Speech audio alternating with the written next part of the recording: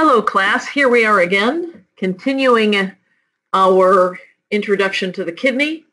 And we're going to spend most of our time talking about um, filtration. And uh, I talked actually talked about clearance in the last presentation, but here we go. Glomerular filtration is the process of, of filtering plasma through the glomerulus and into Bowman's capsule. Things that end up in Bowman's capsule is mostly based on, based on size. That's a process called molecular sieving. Uh, sieve is like a colander or a strainer. What we're going to find is that, that materials have to go through three layers. There are the holes in the fenestrated capillaries of the glomerulus. There are negative charges in the basement membrane, and then there are slits in the podocytes of Bowman's capsule. There are uh, forces that encourage fluid to go through the glomerulus. Those are determined by the Starling's forces. We introduced these concepts um, last semester when we talked about uh, uh, the cardiovascular system. We also talked about filtration at pulmonary capillaries, how that can contribute to uh, pulmonary edema. We're going to think about those Starling's forces again and, um, and how that results in glomerular filtration. And a big influence of the Starling's forces and filtration um, is the resistance or the, the radius of the uh, afferent arteriole. So here's a picture from your textbook. Here we see the glomerulus. This is the um, afferent arteriole. These are the 20 so uh, capillaries of the glomerulus. Actually, they are covered by cells of Bowman's capsule called podocytes. Then there's a little space. The fluid goes into the space and then it makes its way down the proximal tubule. Um, plasma that was not filtered then continues on through the capillaries and leaves through the efferent arteriole. Notice we see a piece of the um, distal convoluted tubule and some other cells. Uh, this is a structure that we call the juxtaglomerular apparatus. These are some cells that are going to make a substance called renin, but we'll get back to that at another time. Now notice this box here. Uh, so our authors have blown up this box and now we have this picture here. So what we see is the first layer between the plasma and Bowman's capsule are the fenestrated endothelium. So the capillaries in the glomerulus have little holes in them and things can go through the holes. Then there's a basement membrane that has some, some negative charges that repel proteins. And then there are little sits, slits in the podocytes and uh, substances can kind of make their way through those slits. Um, so uh, the podocytes have these arms and they're kind of mm-hmm. fringy and they kind of intersect. And so, so there's kind of a an obstacle course that things have to go through to travel from the plasma to the filtrate. So here's a picture from another textbook. So we have endothelial cells and spaces and holes in the endothelial cells then we have these negative charges in the basement membrane, and then we have slits in the podocytes. So a sodium ion or a chloride ion would have to go through the spaces, go through the matrix, and then go through the slits. Some big gigantic thing like a red blood cell or an albumin molecule is not going to be able to get through that. They're to, it's going to be uh, kept into the plasma. So things that can go through, we talk about being freely filtered, um, and then things that have to stay in the plasma are not filtered. Here's an electron micrograph from your textbook showing here's a little window or a little um, fenestration in the endothelium.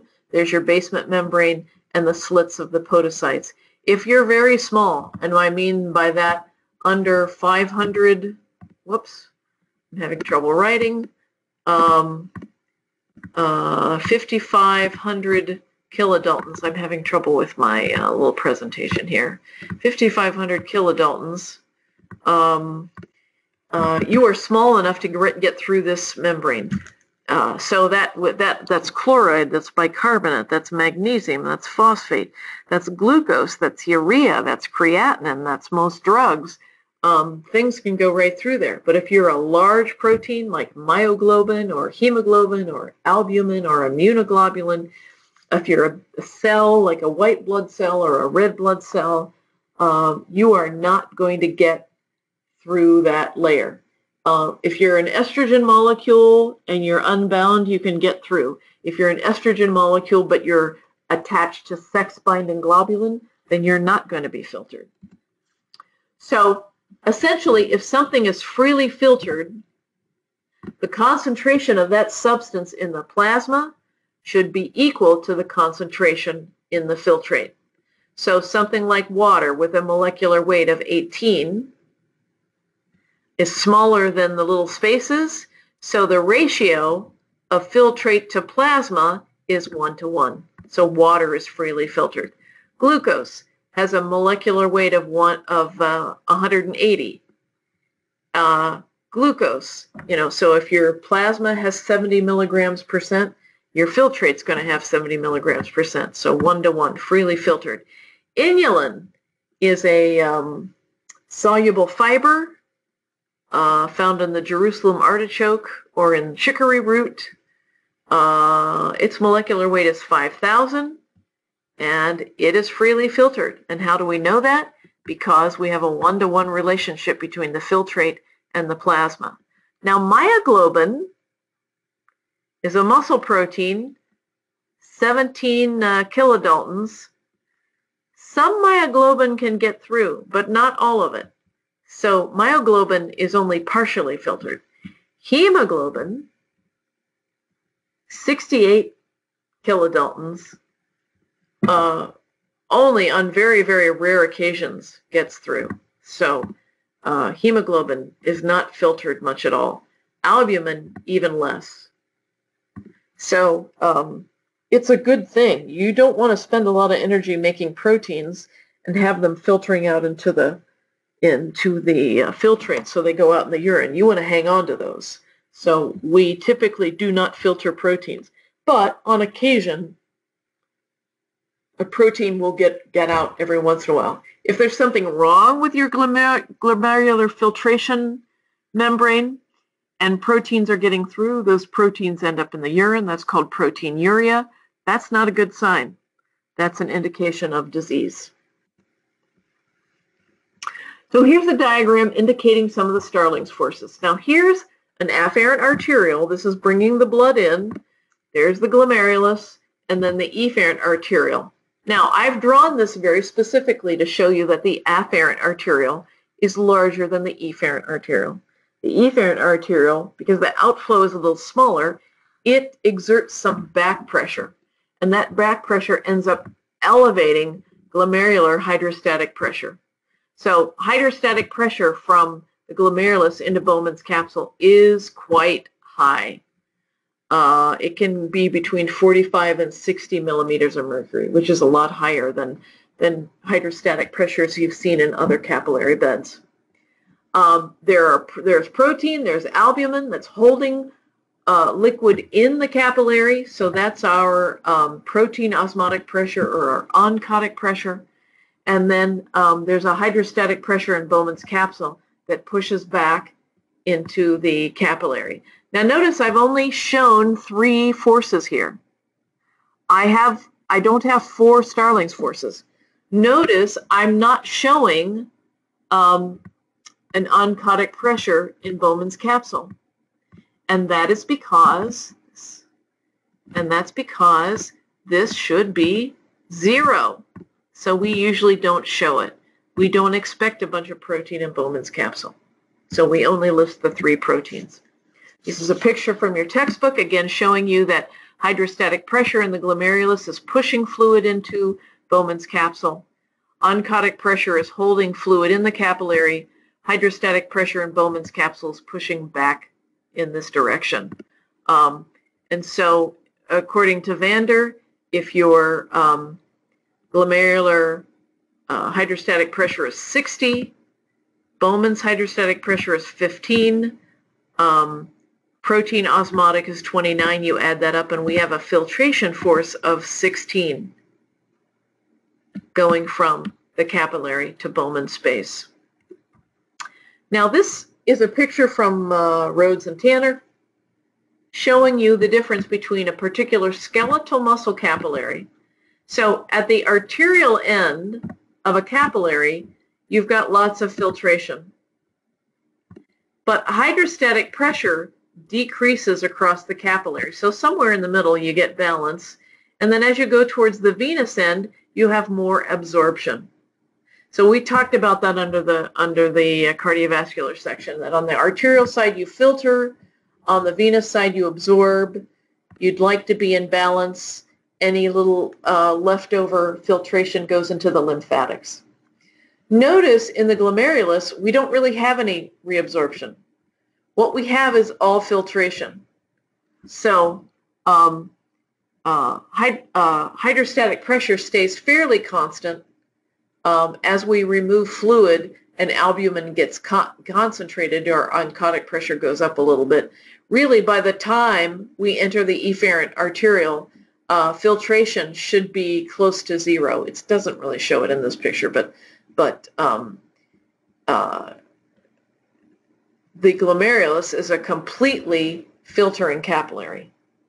So in a way, Mother Nature has divided a, a typical capillary bed in half.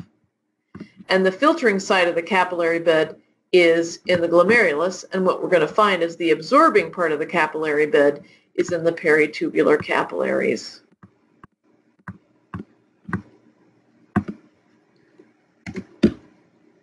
So it's that afferent arteriole that really regulates the GFR. You see, if you constrict the afferent arteriole, then you have less blood coming into the glomerulus. Glomerular hydrostatic pressure decreases, and therefore the GFR decreases. Likewise, if you dilate the afferent arteriole, you have more blood coming into the glomerulus, hydrostatic pressure goes up, and you increase the GFR. Now, theoretically, we can talk about constricting the efferent that increases the back pressure and increases the GFR, or we can dilate the efferent arteriole. We decrease the back pressure and that decreases the GFR. But really, physiologically, we're mostly talking about A and A and D. We're mostly talking about, and I'm not going to say that we never regulate the efferent arteriole. I'm just saying it makes much more sense to concentrate our efforts on talking about the afferent arteriole. So how does this work? Well, let's say we have too much plasma. Maybe we've we've been drinking a lot, we ate a lot of salt, whatever, and we've increased our blood volume. That stretches the atria. And the atria are responsible for producing something called atrial natriuretic peptide. Atrial natriuretic peptide is a hormone that goes to the kidney. It inhibits aldosterone. We have not talked about what aldosterone does yet, but it inhibits aldosterone, but it also has effects on the kidneys. It dilates the afferent arteriole. May do some constriction of the efferent, but more importantly, we're dilating the afferent arteriole, which increases the GFR. We also decrease our reabsorption of sodium. So we filter more, we reabsorb less sodium, and we have fluid and sodium going out in the urine. That would help return our plasma volume back to where it should be. We also could have a situation where we're dehydrated and we don't have enough plasma. Maybe we had a terrible case of food poisoning and uh, it, we've had some um, had some diarrhea and become um, uh, dehydrated and um, uh, hypovolemic. So what we're going to try to do is decrease filtration and hang on to sodium. So we've had a lot of sodium and water loss due to, to uh, diarrhea. That decreases the plasma volume, decreases our venous pressure. We have less venous return, less atrial pressure, um, decreased uh, preload, decreased stroke volume, decreased cardiac output, decreased blood pressure uh, our baroreceptors are going to say, holy Toledo, um, uh, we have less plasma volume. There's some other other kind of baroreceptor type things. Um, anyway, if our blood pressure is too low, we're going to activate the sympathetics. So there's a branch, um, the, the renal nerve contain, contains uh, sympathetic um, efferents and afferents, but those efferents are going to go to the kidney and tell the afferent arteriole to constrict. We are going to reduce glomerular filtration pressure and reduce the GFR. Now, you might be saying, but Dr. A, if our GFR is too low, we're not cleaning our blood. You're right. However, if we don't have blood pressure, we're not alive.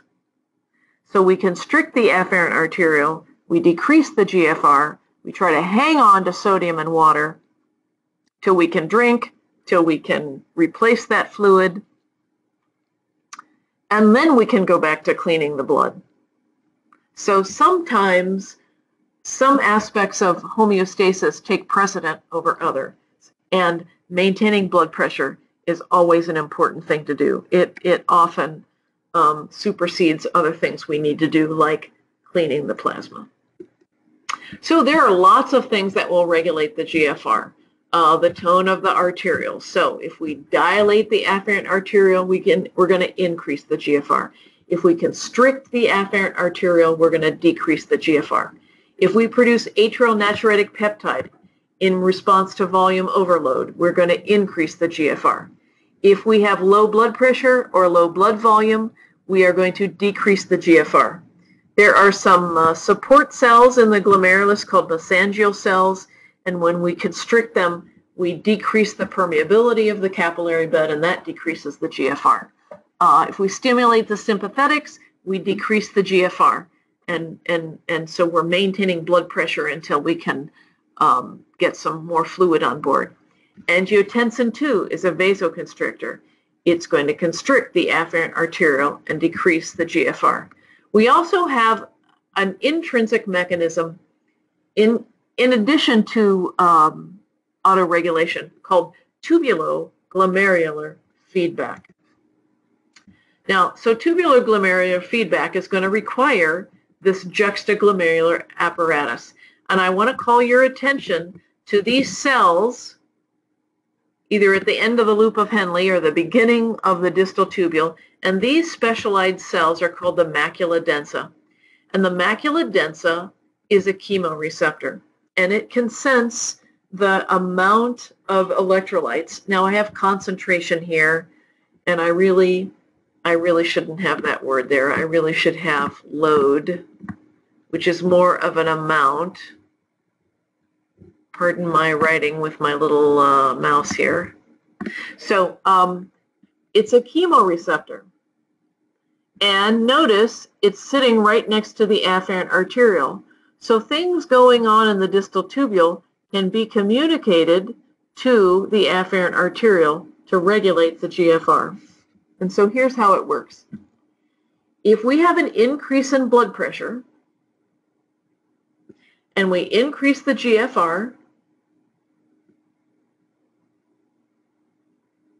and we have much more filtration, By the time we get to the macula densa, we're going to have an increased delivery of sodium chloride. And the macula densa basically talks to the afferent arteriole and asks it to constrict. And it basically says, you are sending more sodium chloride than I can handle. So I need you to constrict so we can, regu we can regulate this glomerular filtration pressure. Likewise, if arterial blood pressure goes down, then glomerular capillary pressure goes down and filtration goes down. Delivery of sodium to the macula densa is going to go down. And what's going to happen? We're going to dilate because the macula densa is going to say, the GFR is not high enough. You guys aren't cleaning the blood. You guys aren't sending me enough sodium. And that will increase glomerular flow and increase the GFR. Now, this is an intrinsic mechanism, all others equal. But if you have wicked, wicked low blood pressure, um, uh, really low blood pressure will, will overwhelm autoregulation and tubuloglomerular feedback because regulating the blood pressure ends up being more important than regulating the GFR. So in short, intrinsic mechanisms are about maintaining the GFR. We need to maintain the GFR because if we filter too much, we're not going to be able to maintain blood pressure. If we don't filter enough, we're not cleaning our blood. But intrinsic mechanisms can be overridden by extrinsic mechanisms like sympathetic stimulation or angiotensin II because if you don't have blood pressure, you don't have anything. So sometimes cleaning the blood will be put on the back burner because the emergent issue is the regulation of the blood pressure. So here we are in words. The macula densa can influence the GFR when you have too much filtrate, too much sodium chloride arriving at the macula densa.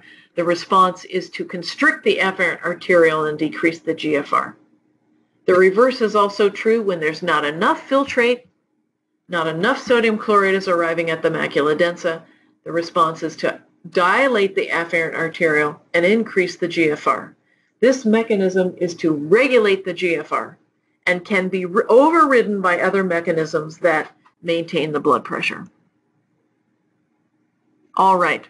I'm not going to talk about this a lot in the presentation. We're going to talk about this in class but I need to introduce some concepts that you will need to do the renal calculations. These are a part of your uh, homework grade, and these are problems that we will work on in class.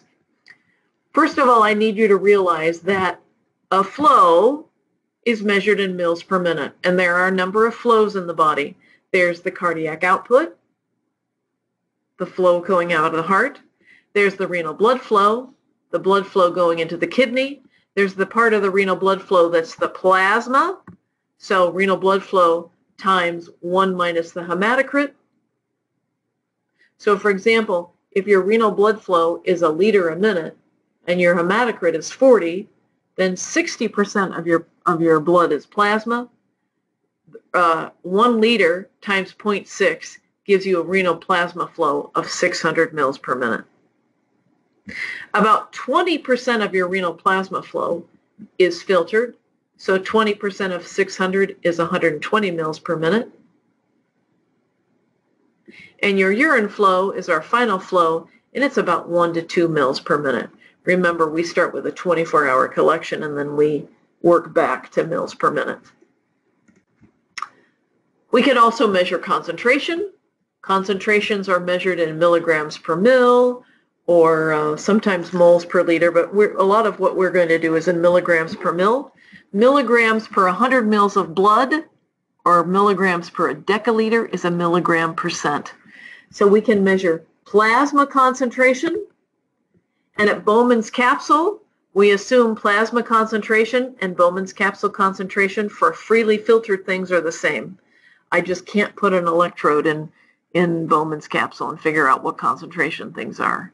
But if I know it's freely filtered, then I know the plasma uh, filtrate concentration should be one to one. So I assume they're the same. And then I can measure urine concentration in milligrams per, per uh, mil or milligrams percent. Now here's the deal. A concentration tells you nothing. What you really need is a load or an amount.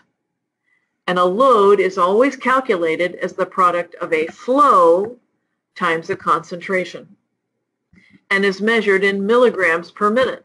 So what's the amount of stuff in the plasma? That's the plasma load. What's the plasma flow? The renal plasma flow. What's the plasma concentration?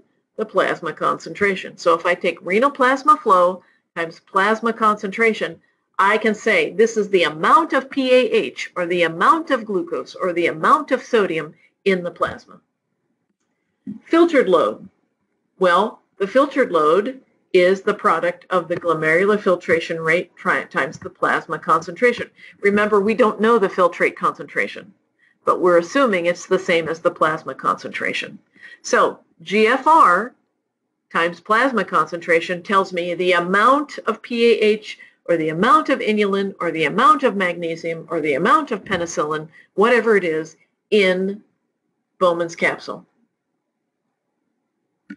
Excreted load is what's the amount of stuff in the urine.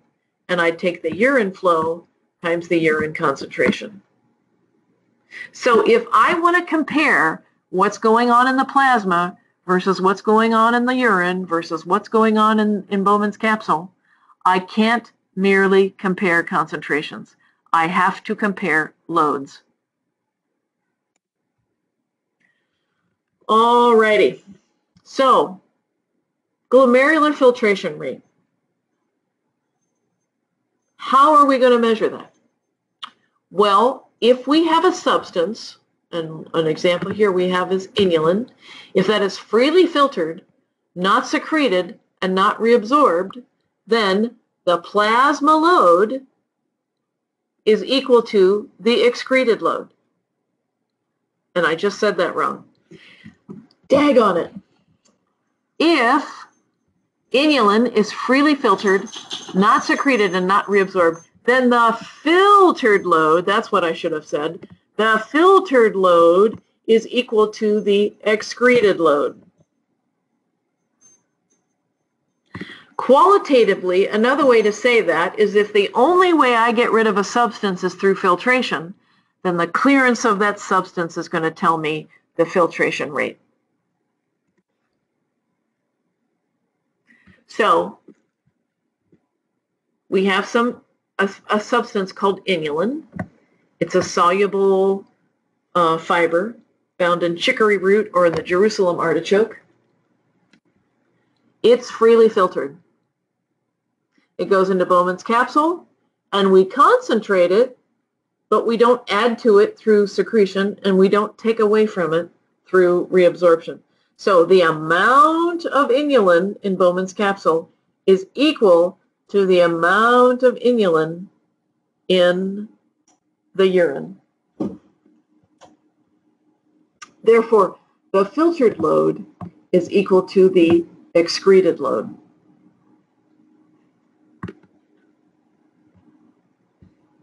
And here's the filtered load and the excreted load.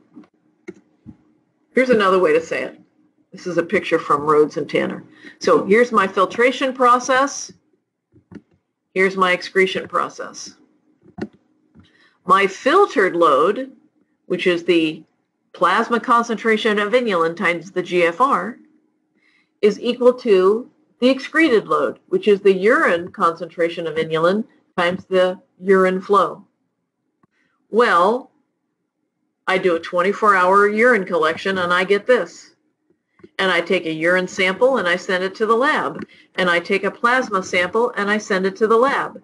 And I solve for GFR. And notice urine flow times urine concentration divided by plasma concentration, that's the clearance formula.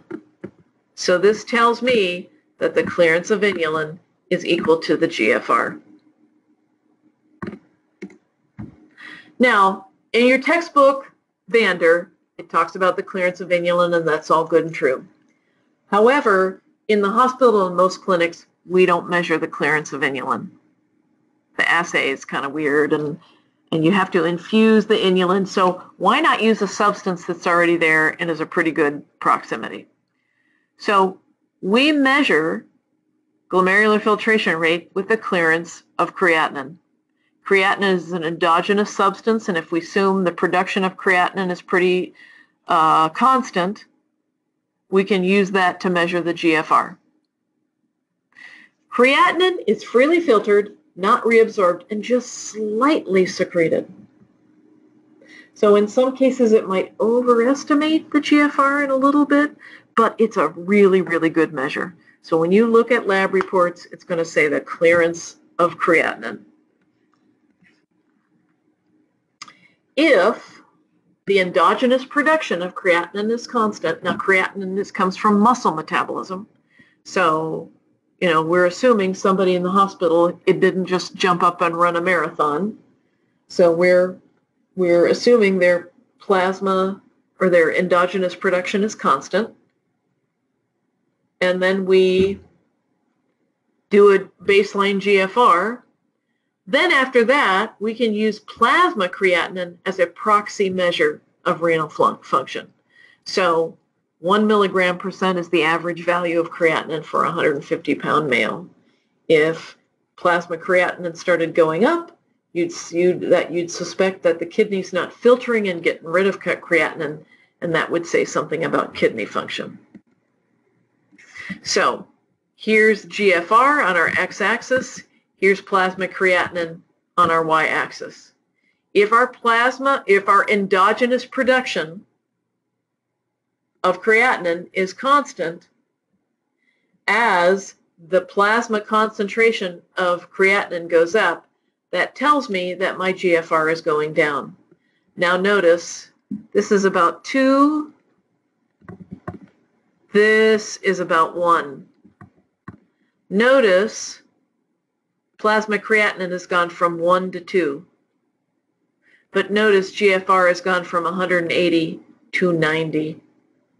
Now 180 is pretty high. This is probably a pretty big guy, uh, pretty big young guy. But uh, don't miss the, the, the relationship.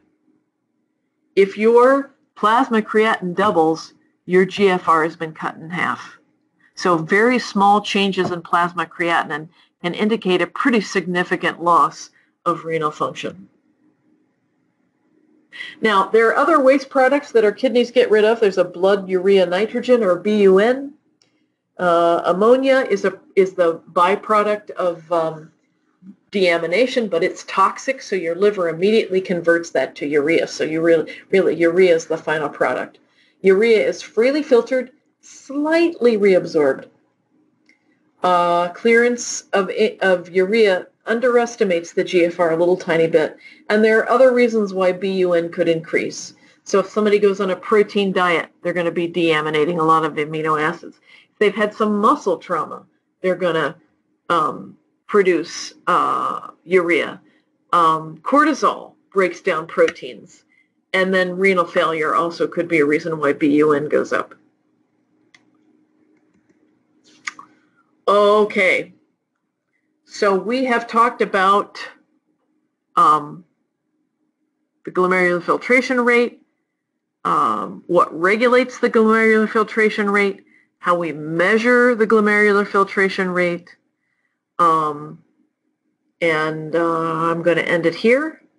Think about the questions you want to bring to class, and um, and I'll see you next time. Thanks for working hard. Bye for now.